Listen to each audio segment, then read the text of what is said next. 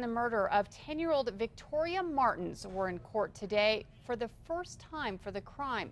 It was their chance to speak to the charges, but instead they said nothing and let their attorneys do all the talking. News 13's Fernanda Lopez was in the courtroom for their arraignments this morning. Fernanda?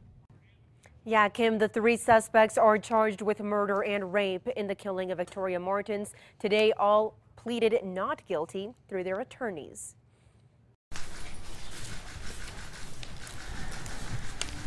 One of the three suspects, one by one, the three suspects, Michelle Martens, Victoria's mother, Fabian Gonzalez, Martens' boyfriend, and Jessica Kelly, his cousin, walked into the courtroom to plead not guilty. The details of this case have stunned the community and made national news. And new details about how Martin sought out men to sexually assault Victoria have caused even more shock.